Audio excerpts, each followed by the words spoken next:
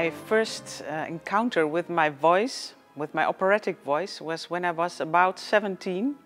Before that age, I sang a lot, but not opera. Uh, I was studying piano, but we had classical music at home, but not opera, strangely. And then my mother, she was singing, she had a beautiful voice. She was singing in an uh, operetta chorus. In Holland, you have uh, many of them. And she took me and my sister one day to come with her, and we were like, Meh, we don't want to, mommy. Okay, for you, we go once. And then I started to sing with the other women, and this voice came out, this natural operatic voice. It was like, this is my destiny. I immediately knew, and they immediately offered me the main role, and it was like, from then on, I was 17, and it was clear.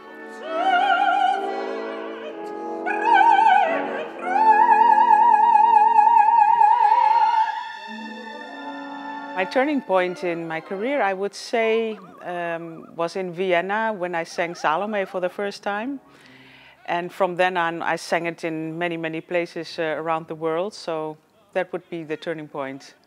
Before that, I also sang internationally, but then I got really into focus on me. So a lot of success.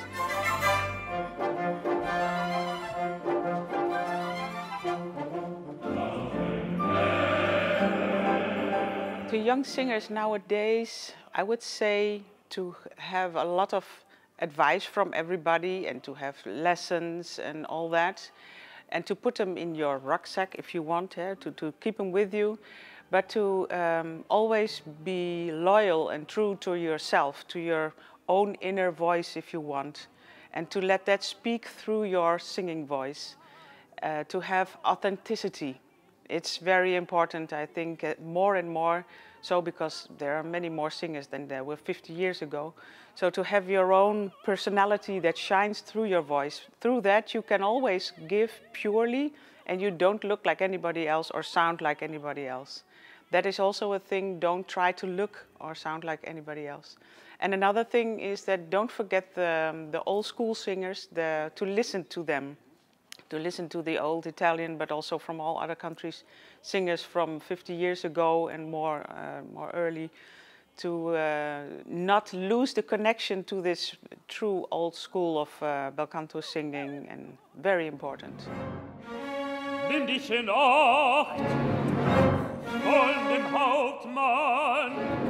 Korngold to me is, when I discovered him, uh, was like a, a, phenomenon when I started to uh, study Heliane.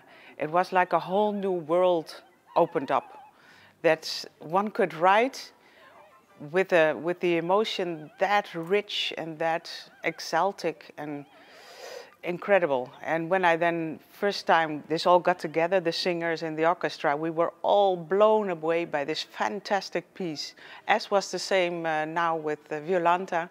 It's an amazing piece. So I absolutely adore Korngold. He is, um, at the moment, my favorite composer. And I would almost say if, if you can write music like that, as a young child, even uh, when he was 11, he, he wrote this uh, violin concert. He um, must have been maybe an old soul or maybe reincarnated by another composer or very musical person. so yeah, I, uh, I'm in complete awe. He had a very unique uh, language, musical language of his own, I think.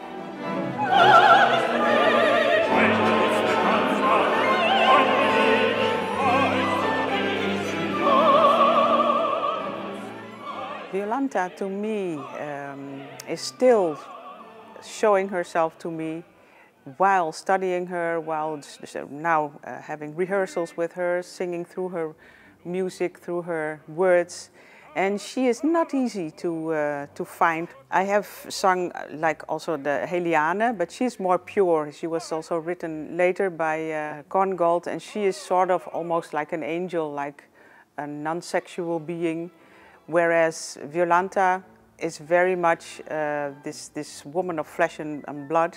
You could say on the one hand she maybe is trying to hide her tr true feelings because she is living in this Venice of the 15th century. Maybe has to oppress her feelings in those days. Uh, women were not allowed to be as free as they are now.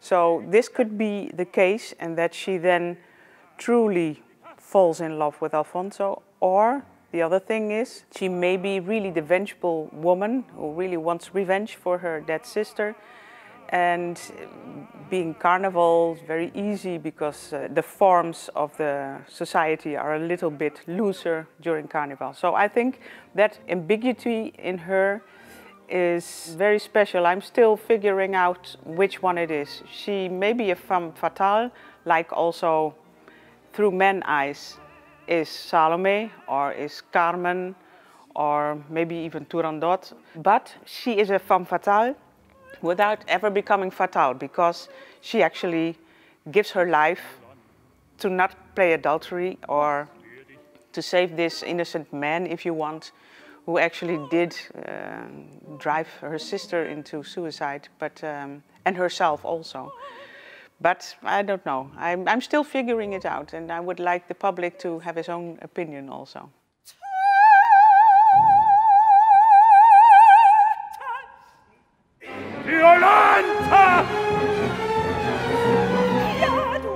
When I think of is Violanta a victim or a winner, I would say she is a winner because um, she offers her life in the end and she does it voluntarily out of the spur of the moment, yes, but still. And is it um, a sort of a Liebestod like Isolde, who I also sung? Um, in a way, yes, but then for purity to give up um, her life, not to have to live through guilt to, for, because of the adultery she would have. And also because she really does love her husband, I think. That is a genuine love, but maybe not as fiery, as hot as she has with uh, Alfonso. And more profound, I think. With Alfonso, it's more on the surface. And um, actually very interesting, he is talking about reine Lieb, real, pure love. And she, at the same time, is singing about pure lust, which is, of course, a completely, uh, completely the opposite. It can come together, of course, but um, they've known each other like uh, an hour, so that's not possible for her to have this profound love, I think. So I would say now uh, in retrospect, she is a vengeful woman who wants revenge for her sister, but has a, has a nice uh, encounter with Alfonso. He's very manipulative. She has no escaping a man like that, even if only for half an hour. And then she does choose the right thing, if you want, and gives her life up. I think she's a winner.